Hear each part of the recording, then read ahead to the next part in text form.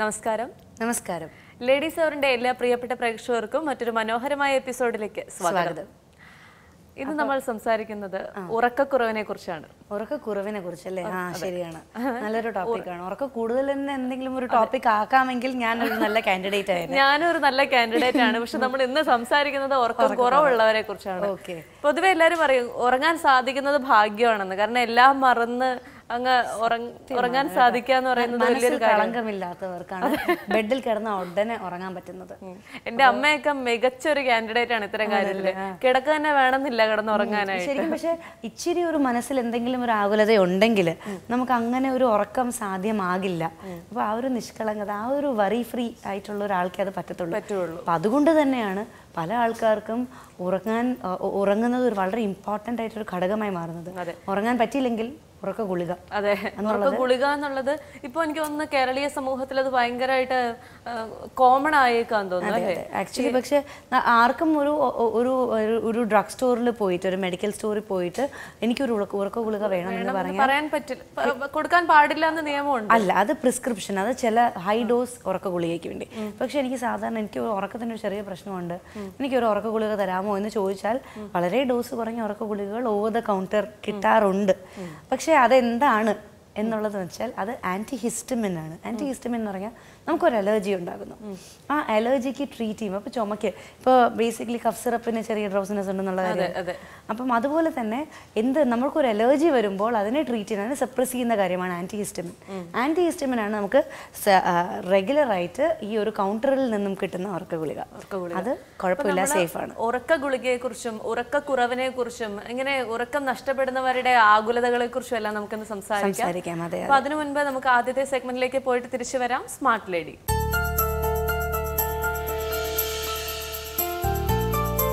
നമസ്കാരം. ഞാൻ ആൽഗ. മഞ്ജു എന്ന് വിളിക്കും.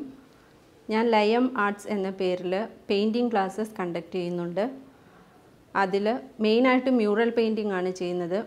വേറെ paintings Thanjavur paintings oil paintings പിന്നെ terracotta jewelleries jewellery making pot painting different types of painting glass paintings എല്ലാം ചെയ്യുന്നുണ്ട്. മെയിനായിട്ട് ഇത് ലേഡീസിനും കുട്ടികൾക്കുമാണ് ഇവിടെ ആർട്ട് ആൻഡ് ക്രാഫ്റ്റ് ക്ലാസ്സസ് എടുക്കുന്നത്.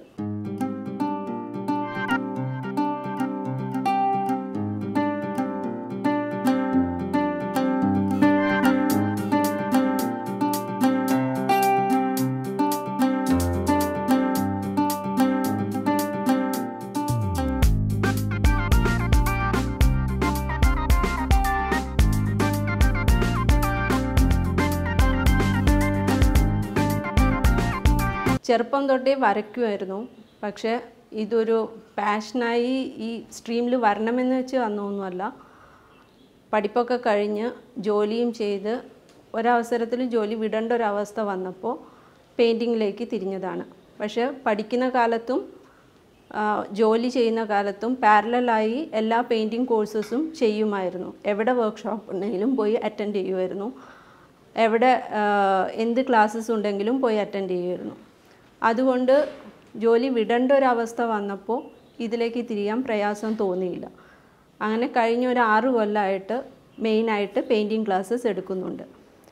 ഇതിൽ തന്നെ മെയിനായിട്ട് മ്യൂറൽ പെയിന്റിങ്ങും തഞ്ചാവൂർ പെയിന്റിങ്ങുമാണ് കൂടുതലും എടുക്കുന്നത്. ഇതിനു മുന്നേ ചെന്നൈയിലായിരുന്നു.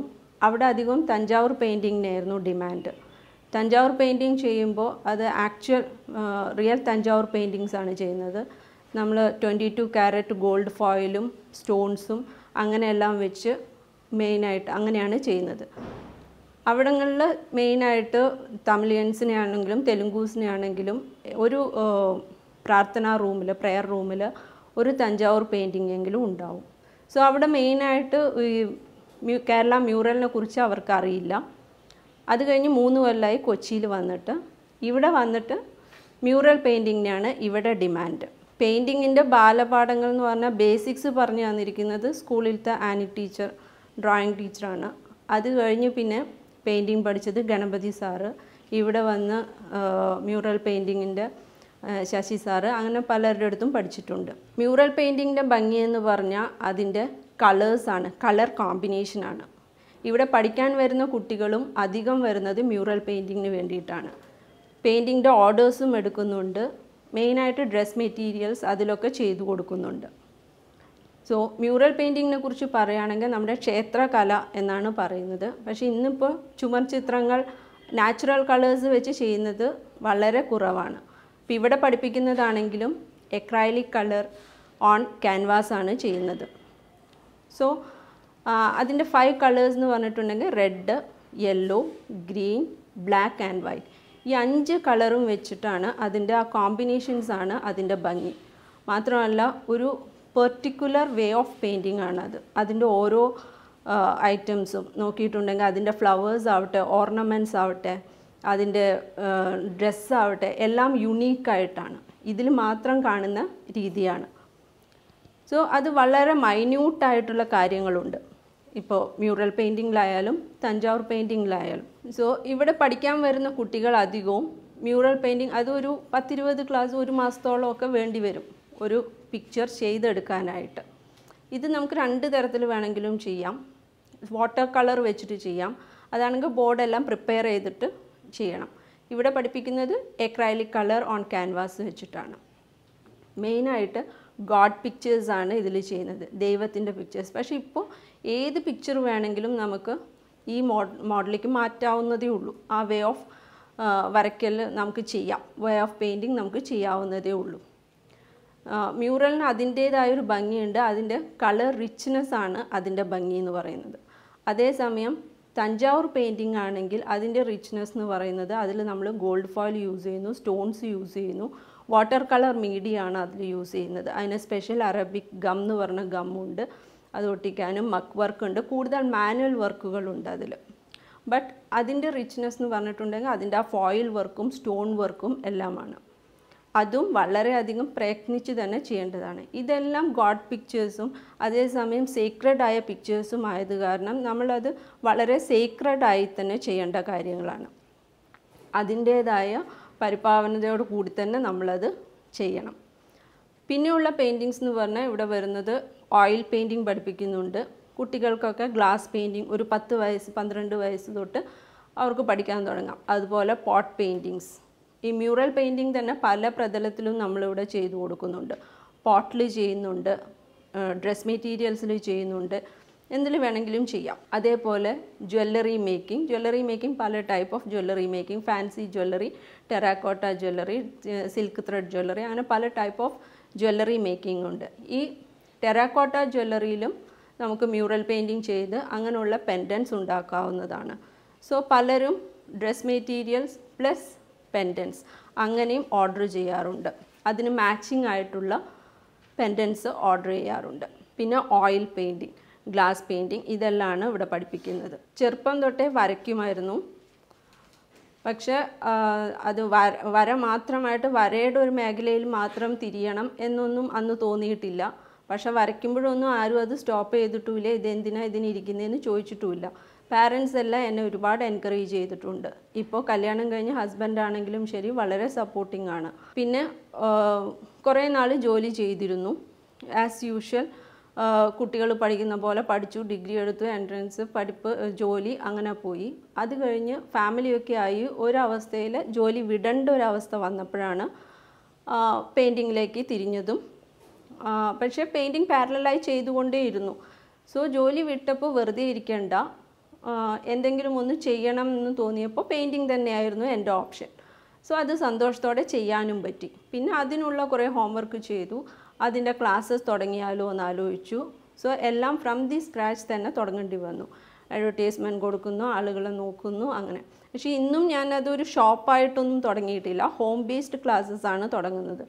ഇനി ഒരു ഷോപ്പായിട്ട് തുടങ്ങണം എന്നാണ് ആഗ്രഹം. അതിന് എവിടെയെങ്കിലും ഒന്ന് സെറ്റിൽ ആയതിനു ശേഷം ഒരു ഷോപ്പൊക്കെ തുടങ്ങുകയാണെങ്കിൽ നമ്മൾ അതിന്റെ പ്രൊമോഷൻ മാർക്കറ്റിംഗ് അങ്ങനെയുള്ള പല കാര്യങ്ങളും ഫുള്ളി ഡെഡിക്കേറ്റഡ് ആയിട്ടിരിക്കണം. സോ ഇപ്പോൾ അതിനുള്ള കണ്ടീഷനല്ല ബട്ട് എനിക്ക് ഹോം ബേസ്ഡ് ആണെങ്കിലും ഇവിടെ വരുന്നുണ്ട്. ആളുകൾ അന്വേഷിച്ച് വരുന്നു. ഓർഡേഴ്സ് കിട്ടുന്നുണ്ട്. സോ മെയിനായിട്ട് ഹൗസ് വൈഫ്സ് ആണ് വരുന്നത്. അവർക്കാണ് മെയിനായിട്ട് ഞാനൊരു ടൈം റെസ്ട്രിക്ഷൻ ഒന്നും വെക്കുന്നില്ല. So whenever they are free അവർ വരുന്നു കോഴ്സ് ചെയ്യുന്നു സന്തോഷത്തോടെ പോകുന്നു. അങ്ങനെയാണ് ചെയ്യുന്നത്. സോ ഹോം ബേസ്ഡ് കോഴ്സ് ആണെങ്കിലും വിളിക്കുന്നവർക്ക് എവിടെ വരണം? ഇപ്പോൾ എന്താ ഒരു വർക്ക്ഷോപ്പൊക്കെ കണ്ടക്ട് ചെയ്യണം. കുറച്ച് പേരുണ്ടെങ്കിൽ നമ്മൾ അവിടെ പോയിട്ട് എടുത്തു കൊടുക്കുന്നുണ്ട് വർക്ക്ഷോപ്സ് ഇപ്പോൾ ഫ്ലാറ്റ്സിലോ അല്ലെങ്കിൽ വേറെ ഇടത്തോ വർക്ക്ഷോപ്സ് കണ്ടക്ട് ചെയ്യണമെങ്കിൽ അങ്ങനെ ചെയ്യാം. പെയിന്റിങ് എന്നും ചെയ്തു ഇരുന്നത് കാരണം അതൊരു പാഷനായി കൊണ്ടുപോകാൻ ഇന്നും സാധിക്കുന്നു.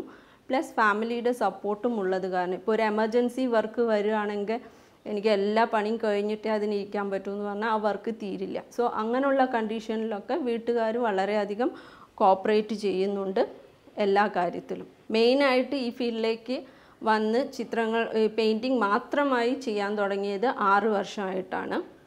ഇതിലെനിക്ക് ബുദ്ധിമുട്ടായി തോന്നിയിട്ടുള്ള എല്ലാത്തരം പെയിന്റിങ്സ് ചെയ്യുമെങ്കിലും ബുദ്ധിമുട്ടായി തോന്നിയിട്ടുള്ള രണ്ട് തരം പെയിന്റിങ്സ് തഞ്ചാവൂർ പെയിന്റിങ്ങും മ്യൂറൽ പെയിന്റിങ്ങുമാണ് പക്ഷേ കഷ്ടപ്പെട്ടാലും അത് രണ്ടിന്റെയും രണ്ട് തരത്തിലുള്ള ഭംഗിയാണ് രണ്ടിനും. ഇപ്പോൾ തഞ്ചാവൂരാണെങ്കിൽ പറഞ്ഞു അതിന്റെ ആ റിച്ച്നെസ് ആണ് അതിന്റെ ഭംഗി. മ്യൂറലിന്റെ ആണെങ്കിൽ റിച്ച്നെസ് എന്ന് പറഞ്ഞാൽ അതിന്റെ കളേഴ്സാണ് സോ അതിന്റെ മൈന്യൂട്ട് ഡീറ്റെയിൽസിലേക്ക് പോകുമ്പോൾ കുറേ നല്ല സ്ട്രെയിൻ ഉണ്ട്. അത് ചെയ്തു വരാൻ ഒരു പിക്ചർ ചെയ്തു വരാൻ തന്നെ വളരെയധികം സ്ട്രെയിൻ ഉണ്ട്. പക്ഷേ അതിന്റെ ആ ഫൈനൽ ഔട്ട്പുട്ട് കാണുമ്പോൾ വളരെയധികം നമുക്ക് സന്തോഷം തോന്നും. ആ, അത് എത്രയും ഭംഗിയാക്കി ചെയ്യുക എന്നുള്ളതാണ് അത്. പിന്നെ ഉള്ളത് നമ്മളിപ്പോൾ ഓർഡർ എടുക്കുകയാണ് ക്ലാസ് എടുക്കുകയാണെങ്കിൽ തന്നെ അത് മെയിൻ മിയർ വെറുതെ പൈസയ്ക്ക് വേണ്ടി മാത്രം ചെയ്യുന്നതല്ല നമ്മുടെ ഒരു മെന്റൽ സാറ്റിസ്ഫാക്ഷന് കൂടി വേണം. നമുക്കതിലൊരു ഹാപ്പിനെസ് കാണണം. അങ്ങനെ ചെയ്താൽ മാത്രമേ പെയിന്റിങ് പെയിന്റിങ് ആവുള്ളൂ. ഇന്ന് പല ലേഡീസും പഠിച്ചു കഴിഞ്ഞ് ജോലിക്ക് കുറച്ച് നാൾ ജോലിക്ക് പോയി. ഇപ്പം ജോലി കണ്ടിന്യൂ ചെയ്യാൻ പറ്റുന്നവരുടെ കാര്യമല്ല ഞാൻ പറയുന്നത്. അവർക്ക് ഇപ്പോൾ അവരുടെ കാര്യമാണെങ്കിലും ശരി. അല്ലാത്തവരുടെ കാര്യം ഇപ്പോൾ ജോലി വിട്ട് വീട്ടിലിരിക്കേണ്ടി വരുന്നവരാണെങ്കിലും ശരി. ആർക്കാണെങ്കിലും ശരി എന്തെങ്കിലും ഒരു കഴിവുണ്ടാവും. എന്തെങ്കിലും ചെറിയൊരു കഴിവുണ്ടാവും. അത് വരയ്ക്കാനാവാം ഡാൻസിനാവാം പാടാനാവാം ചിലപ്പോൾ പാചകമാവാം അല്ലെങ്കിൽ നന്നായി സംസാരിക്കാനുള്ള കഴിവാവാം. വാട്ട് എവർ ബി എന്ത് കഴിവുണ്ടെങ്കിലും അത് കൈവിടാതിരിക്കുക അത് പ്രൊമോട്ട് ചെയ്യുക. നമ്മുടെ ആഗ്രഹം പൂർത്തീകരിക്കാനായിട്ട് we have to work for that അപ്പോൾ നമുക്ക് നമ്മുടെ ദൈവം നമ്മുടെ കൂടെ ഉണ്ടെങ്കിൽ നമ്മളെ കൈപിടിച്ച് നടത്തുന്നതാണ് ഞാൻ വിശ്വസിക്കുന്നത്. സോ അങ്ങനെയുള്ള കഴിവുകൾ ഒരിക്കലും കളയാതിരിക്കുക. എപ്പോഴും കഴിവുകളെ മുറുകെ പിടിച്ചുകൊണ്ട് തന്നെ പോകാൻ നോക്കുക. കുറച്ച് സമയം നമുക്കായിട്ട് മാറ്റി വയ്ക്കാൻ നോക്കുക. എന്നാലേ ഒരു ഹാപ്പിനെസ് നമുക്ക് ഹാപ്പിനെസ് ഉണ്ടെങ്കിലേ നമുക്ക് മറ്റുള്ളവരോടും ഹാപ്പി ആയിട്ടിരിക്കാൻ പറ്റൂ. സോ നമുക്ക് വേണ്ടി നമ്മുടെ കഴിവുകളെ നമ്മൾ പ്രൊമോട്ട് ചെയ്തുകൊണ്ടേയിരിക്കണം. ചെന്നൈയിലായിരുന്നപ്പോൾ അവിടെ തമിഴ്നാട് ഗവൺമെന്റിന്റെ ടൂറിസം വിഭാഗത്തിന്റെ ഭാഗമായിട്ട് നമ്മുടെ ഓണം സെലിബ്രേഷന്റെതായിട്ട് അവർക്ക് ഒരു വർക്ക്ഷോപ്പ് കണ്ടക്ട് ചെയ്യാൻ പറ്റി. അത് വളരെ നല്ലൊരു അനുഭവമായിരുന്നു. ഒരുപാട് പേര് കോപ്പറേറ്റ് ചെയ്തു അതുമായിട്ട് വളരെ നല്ലൊരു അനുഭവമായിരുന്നു. കൊച്ചിയിലേക്ക് വന്നിട്ട് മൂന്ന് കൊല്ലമായി കൊച്ചിയിൽ വന്നതിന് ശേഷമാണ് എക്സിബിഷൻസ് കണ്ടക്ട് ചെയ്യാൻ അതിൽ പാർട്ടിസിപ്പേറ്റ് ചെയ്യാനും ഒക്കെ സാധിക്കുന്നത്. സോ അതുവഴി എനിക്ക് ഒരുപാട് എക്സ്പോഷർ കിട്ടുകയും നല്ല ഫ്രണ്ട്സ് ഇതേ ഫീൽഡിൽ ഇതേ ഇഷ്ടങ്ങളുള്ള ഫ്രണ്ട്സിനെ കിട്ടുകയും ചെയ്തു. അതൊരു വലിയ കാര്യമാണ്. അതുപോലെ നല്ല നല്ല കസ്റ്റമേഴ്സിനെ കിട്ടാൻ. അങ്ങനെ ഒരുപാട് എക്സിബിഷൻസ് ചെയ്യാൻ പറ്റുന്നുണ്ട്. പിന്നെ ഓൺലൈനായിട്ടൊരു പേജ് വെച്ചിട്ടുണ്ട്. Layam murals L A Y A M M U R A L S Layam murals അതിലാണ് എല്ലാ വർക്കും അപ്ഡേറ്റ് ചെയ്യുന്നത്. പിന്നെ ഓൺലൈനായിട്ട് ഇപ്പോൾ ഓൺലൈൻ ബിസിനസ് ചെയ്യേണ്ട ലേഡീസിനാണെങ്കിലും ഇപ്പോൾ ഒരുപാട് ഫ്രീ അഡ്വർടൈസ്മെന്റ് സൈറ്റുകളുണ്ട്. അപ്പോൾ അതിൽ നമുക്ക് കാശ് ഇറക്കാതെ തന്നെ എന്തെങ്കിലും ഒരു ആഡ് കൊടുക്കുകയാണെങ്കിൽ തന്നെ എന്തായാലും ഉറപ്പായിട്ട് അതിനൊരു റെസ്പോൺസ് കിട്ടിയിരിക്കും. എന്റെ അനുഭവമാണ്. സോ അങ്ങനെയുള്ള റെസ്പോൺസസ് നിന്നാണ് എനിക്ക് പല ഓർഡേഴ്സും കിട്ടുന്നത്. പിന്നെ നമ്മളൊരു ഓർഡർ നന്നായി ചെയ്തു കൊടുക്കുമ്പോൾ അവർ പറഞ്ഞറിഞ്ഞ് വേറെ ഉള്ളവർ വരും. അവർ തന്നെ വീണ്ടും വീണ്ടും ഓർഡേഴ്സായിട്ട് വരും. അപ്പോൾ നമ്മുടെ സിൻസിയറായിട്ട് നമ്മൾ വർക്ക് ചെയ്ത് കൊടുക്കുക റീസണബിൾ ആയിട്ട് പേ ചെയ് പേയ്മെന്റ് വാങ്ങുക. അല്ലാതെ എന്തെങ്കിലും ചെയ്ത് എന്തെങ്കിലും വാങ്ങുക അങ്ങനെയല്ല. നമ്മുടെ സിൻസിയറിറ്റിക്ക് അനുസരിച്ച് നമുക്ക് എന്തായാലും റിട്ടേൺസ് കിട്ടും എന്നാണ് എന്റെ അനുഭവം.